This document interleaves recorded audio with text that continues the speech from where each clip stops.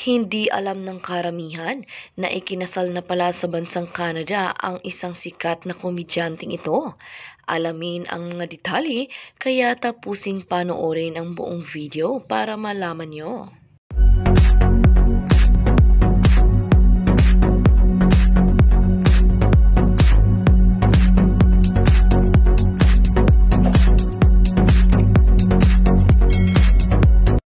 Bago natapos ang taong 2021 ay isang mahalagang okasyon ang idinaon sa buhay ng komedyanteng si Jobert Austria at ng kanyang longtime partner na si Tiad Guzman.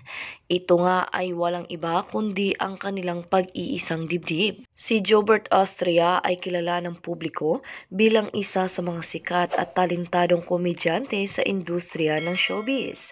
Dahil sa kanyang angking husay sa pagpapatawa at pagkakaroon ng positibong personalidad ay talaga namang hatid niya ay good vibes sa maraming mga manonood at maging sa kanyang mga kapwa celebrity. Mas naging epektibo pa nga sa maraming mga manonood at kanyang mga fans ang presensya ni Jobert dahil sa kanyang nakakatuwang reaksyon.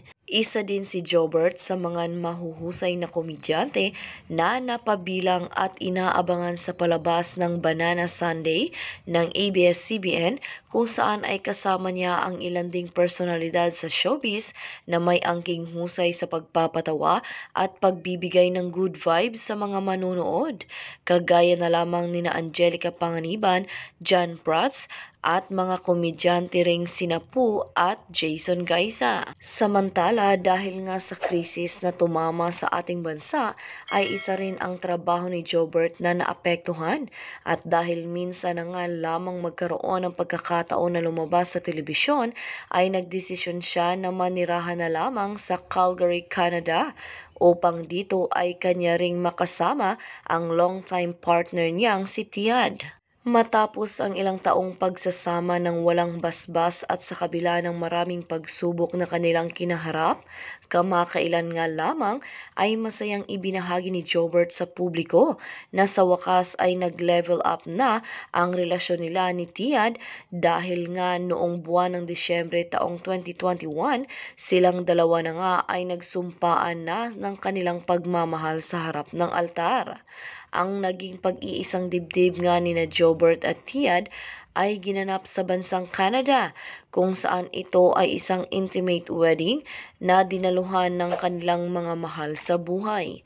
Makikita sa official Facebook account ni Jobert na Kuya Jobert TV ang naging pagpasilip niya sa ilang highlights sa naging kasal nila ni Tiad kung saan isang video nga ang kanyang ibinahagi. Marami naman ang nagpaabot ng pagbati kay Jobert at Tiad sa napakahalagang okasyon na ito sa kanilang buhay. Ilan nga sa mga celebrity na bumati sa kanila ay sina John Lloyd Cruz, Coco Martin, Tony at Alex Gonzaga, Carla Estrada at marami pang iba. Ayon naman kay Jobert, hindi niya inakala na ang crush niya noong elementary at matagal na niyang kaibigan na si Tiad ang kanyang makakatuluyan at makakasama habang buhay. Kitang-kita naman sa mga ngiti ni Jobert ang kasiyahan niya ngayon na sila ni Tiad ay ganap ng isa.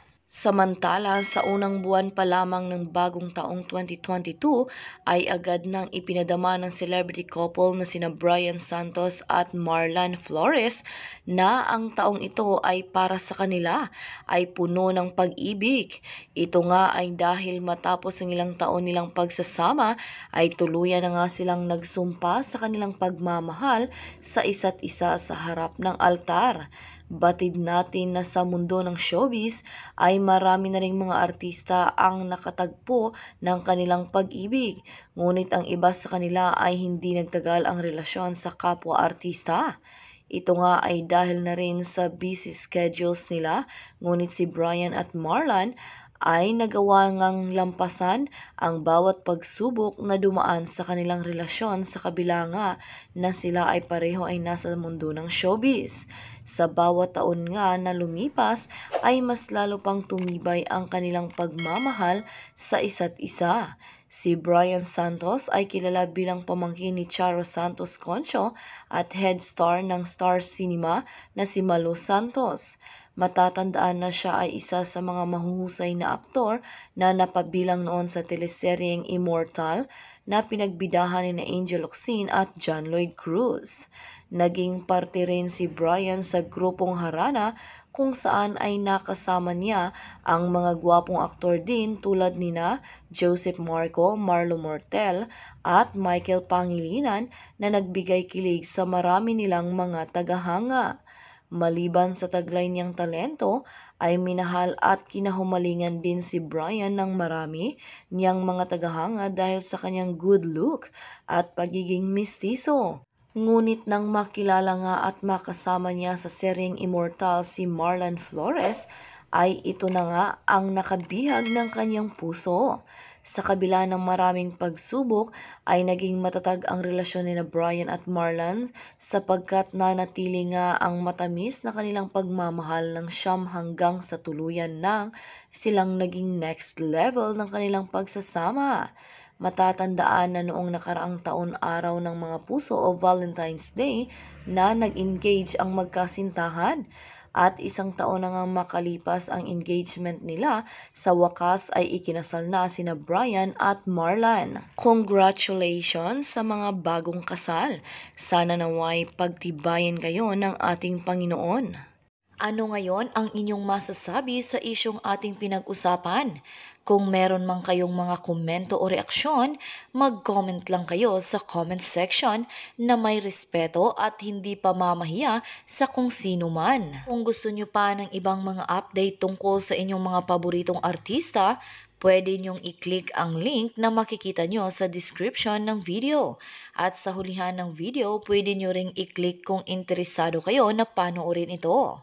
Makikita nyo rin sa bandang itaas ng video na may lumalabas na i button.